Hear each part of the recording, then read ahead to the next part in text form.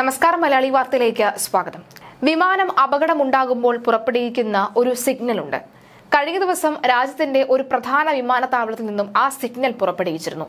അതിനെ തുടർന്ന് മൂന്ന് മണിക്കൂറാണ് തിരച്ചിൽ നടത്തിയത്. വിമാനം അപകടമിടുമ്പോൾ ഉണ്ടാകുന്ന ഒരു എമർജൻസി ലൊക്കേറ്റർ ട്രാൻസ്മിറ്റർ ഉണ്ട് ഇതിൽ നിന്നാണ് സിഗ്നൽ പുറത്തേക്ക് വരുന്നത്. മൂന്ന് മണിക്കൂർ തെരച്ചിൽ നടത്തിയെങ്കിലും ഒന്നും കണ്ടെത്താൻ കഴിഞ്ഞില്ല എന്നതാണ്. വിമാനത്താവളത്തിന് സമീപത്ത് നിന്ന് ലഭിച്ച എമർജൻസി സിഗ്നൽ മണിക്കൂറുകളോളം പരിഭ്രാന്തിപ്പെടുത്തി എന്ന് വേണം പറയാൻ. വിമാന അപകടമുണ്ടാകുമ്പോൾ പുറപ്പെടുവിക്കുന്ന എമർജൻസി ലൊക്കേറ്റർ ട്രാൻസ്മിറ്റർ സിഗ്നലാണ് ലഭിച്ചത്. മഹാരാഷ്ട്രയിലെ നാഗ്പൂരിൽ ഡോക്ടർ ബാബാ സാഹേബ് അംബേദ്കർ അന്താരാഷ്ട്ര വിമാനത്താവളത്തിന് സമീപത്താണ് സംഭവം. ബാറ്ററിയിൽ പ്രവർത്തിക്കുന്ന ട്രാൻസ്മിറ്ററാണ് ഈ ഇ എൽ ടി എന്ന് പറയുന്നത്.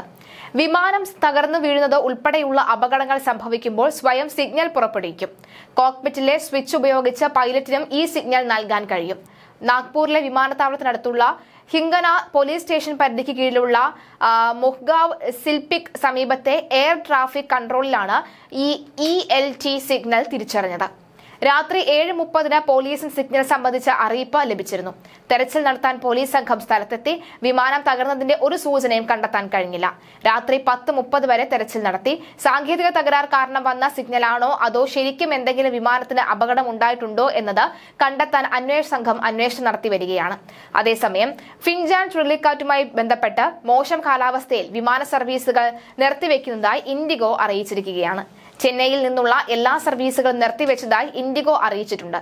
യാത്രക്കാരുടെ സുരക്ഷയ്ക്ക് പ്രാധാന്യം നൽകിയാണ് തീരുമാനമെന്നും കാലാവസ്ഥ പൂർവസ്ഥിതിയാകുന്നവരെ അതിനനുസരിച്ച് സർവീസുകൾ പുനരാരംഭിക്കുമെന്നും എക്സിൽ പങ്കുവച്ച വാർത്താക്കുറിപ്പിൽ ഇൻഡിഗോ അധികൃതർ വ്യക്തമാക്കി.